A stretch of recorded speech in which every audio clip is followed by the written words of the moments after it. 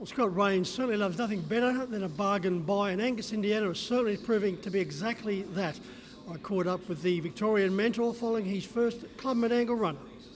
Well, Scott, good to catch up with you. Congratulations on the effort of Angus Indiana, his first start here at Club Menangle. led with Leighton Green in the sulky. Gave a bold showing. He certainly did. Uh, he's uh, a fairly dour horse that um, may just lack that little bit of high speed that's required here at Menangle, but I was proud of him and um, I thought it was a good run considering he's never had a start on the track. Yeah, you led on this particular occasion. it, it is a different beast, this circuit. Absolutely. Um, being a high speed track and, uh, you know, the, the closing sections that they can run here, um, I think that uh, if, I, if he had had another run on the track, I think he would have improved a couple of lengths. But I'm definitely proud of him. He ran a great race.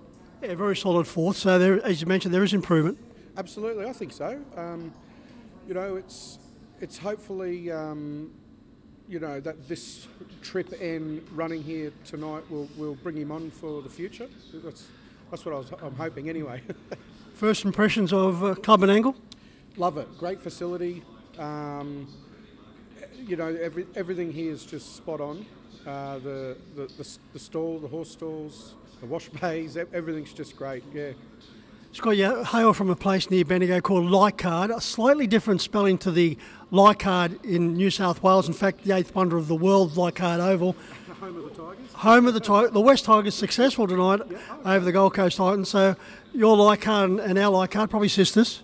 Uh, yeah, yeah. Uh, Leichardt, it's just a, it's a little place uh, just near Marong there on uh, probably uh, west of Bendigo about 15 minutes, 20 minutes out of town. It's um, a, a, great uh, place to train the horses. I train out of Dave Van Ryn's place, and everyone out there is, yeah, it's a wonderful place to train. But you are a Queenslander. I, am originally a Queenslander, yeah, and um, just come down to Victoria about 10 years ago to, for a bit of opportunity. And uh, now it seems like Queensland might be doing a little bit the better. So, but yeah, go the Maroons. so, how did you get involved in harness racing? Uh, just through my brother. Um, years ago, oh, this this is probably over 20 years ago. He um, he claimed a horse uh, in Victoria and, and, brought it up home to Queensland. And uh, one morning he just said, "You should come out and and uh, see what it's all about." And I was definitely bitten by the bug then, and just went from there. You know, so I've been involved at various levels since, since then, either breeding, training, and or driving. We should mention Queensland bred. Victorian is where you reside, but you follow the South Sydney Bunnies. Yeah, I go for the Bunnies. Um, it, it's just uh, back, back when I was a kid, I used to follow a player called Jason Taylor who played for the North Bears, and um, he took over the Bunnies um, coaching role. And ever since he started there, I just jumped on the Bunny bandwagon and been on it ever since. Angus Indiana is one of how many horses you train? Uh, at the moment, I've got three in work. Um, the number sort of fluctuates between two and four. Sometimes I can get up to six. You know, I have in the past, but I only do it as a mainly as a hobby and uh, a family venture. So I don't like to have too many. You know, because uh, it's only me and my partner that, that do them. As I mentioned, you're always on the lookout for a bargain buy.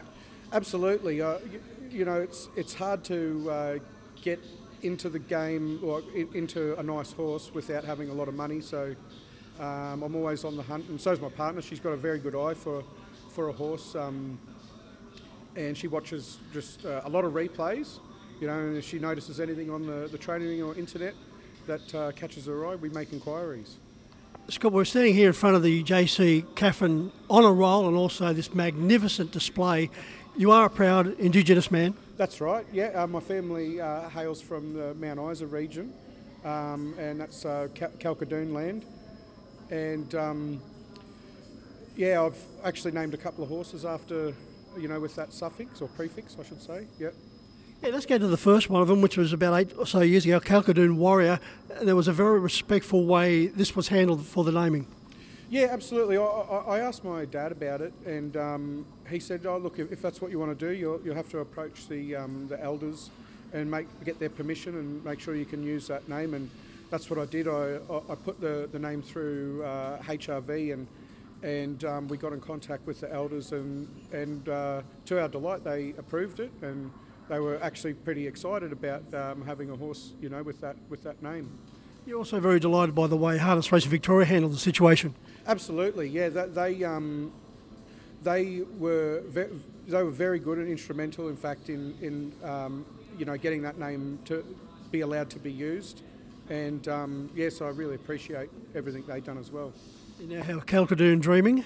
Yes, he's a, a three-year-old that um, he's just a family-bred horse.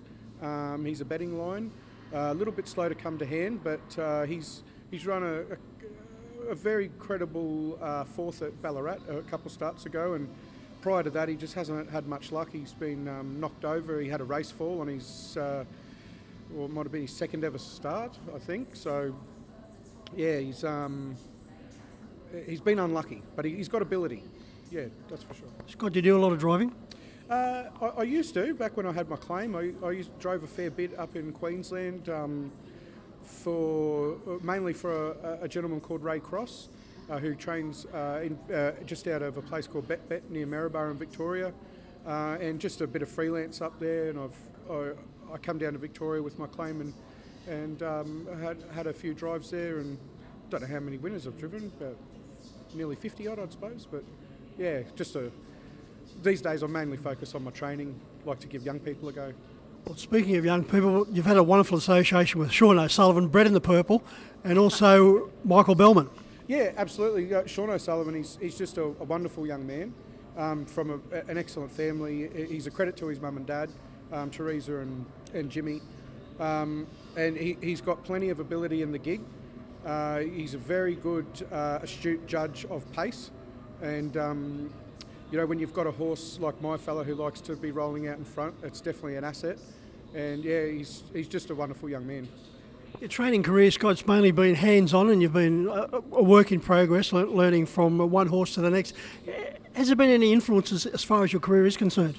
Absolutely. Oh, Look, early days, my brother was a, a big influence. You know, he, he, was just starting out as well, so just um, learning what he knew. And uh, in, in, uh, there's a lot of uh, trainers in Queensland that I sort of learnt from, and there was an older gentleman called Jack Walterspiel, where who we had the horses out in Queensland, and he, he was uh, a, a, very um, a very good sort of instructor, and he was a hard taskmaster. If you're out there late, he used to give you the old good afternoon, so you had to be out there on time just to keep him happy. But in Victoria, look, there's plenty of good um, trainers and drivers there. Got a lot of respect for the likes of uh, you know Chris Alford, John Caldow, Kerryn Manning, James Herbertson is a top young driver there who does a great job. Just, you, I think if you just follow the people who have success and and uh, you know follow what they do and respect what they do, you hopefully will have some yourself. On the subject of great young drivers, the gentleman that's just looking over your left shoulder, Leighton Green, drove for you today. Yep.